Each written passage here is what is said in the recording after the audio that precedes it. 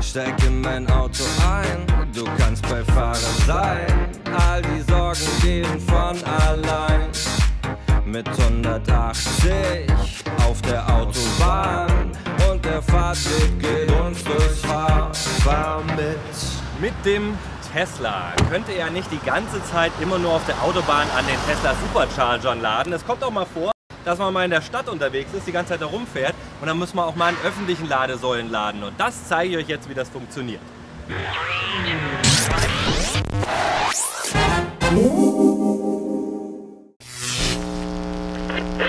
Die Supercharger haben ja immer so ein Ladekabel integriert. An den öffentlichen Ladesäulen ist ein Typ 2 Ladestecker oder auch Mennekes Ladestecker.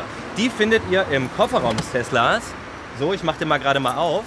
Und zwar schauen wir da mal hier unten rein. So, da habe ich mir noch eine schöne Decke und alles rein platziert. Dann gibt es hier noch andere Adapter, die werde ich in den weiteren Videos noch erklären. Und hier ist jetzt dieser Typ 2 Mennekes. Dieses Stück kommt in den Tesla und dieses Stück kommt in die Ladesäule. Und das schließe ich jetzt mal an. Fahr mit. Fahr doch mal, fahr doch mal mit. Damit ihr den Stecker hier auch in diesen Ladeanschluss reinstecken könnt, müsst ihr den öffnen. Dazu haltet ihr hinten diese Kofferraum, also diesen Kofferraumknopf gedrückt und so lange gedrückt, bis dann gleich, zack, diese Klappe aufgeht. Da machst du auch so ein kleines Klackgeräusch. Da steckt ihr dann hier das eine Ende rein. Wenn ihr das richtig gemacht habt, verschließt er dann auch wieder. So, da macht es dann auch wieder so ein Klackgeräusch. Um an öffentlichen Ladesäulen zu laden, braucht ihr natürlich irgendeine Ladekarte oder eigentlich von jedem verschiedenen Ladeanbieter eine eigene Ladekarte. Ich würde euch empfehlen, holt sowas wie von The New Motion, so ein Chip hier. Oder ich habe das Ganze auch nochmal von Plug Surfing. Mit diesem Chip, das ist ganz praktisch, wenn ihr euch da anmeldet, könnt ihr dann auf ein Riesensystem von allen möglichen Ladeanbietern zurückgreifen. Also habt nur einen so einen Chip. Ich nutze gerne den von The New Motion. Den haltet ihr dann an die Ladesäule dran. Hier, zack. So, jetzt seht ihr, ist das hier noch verschlossen. Jetzt klappt der praktisch runter, der Stecker. Jetzt stecke ich den hier ein. Zack. So. Und in dem Moment geht es dann im Tesla auch los mit dem Laden. Falls ihr euch jetzt wundert, wieso ich den hier rechts einstecke und nicht eigentlich links, der linke funktioniert nicht. Das passiert manchmal. Manchmal ne, sind die Ladesäulen auch nicht voll funktionstüchtig und dann muss man halt, naja, sozusagen den anderen Ladestecker blockieren.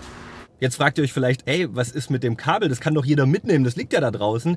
Kann keiner mitnehmen. Die sind von beiden Seiten verschlossen. Das heißt, erst wenn der Ladevorgang beendet ist, wenn ihr den dann beendet wieder mit dem Chip, dann könnt ihr das Kabel erst wieder rausziehen. Das müsste schon jemand durchschneiden und das würde ich keinen empfehlen.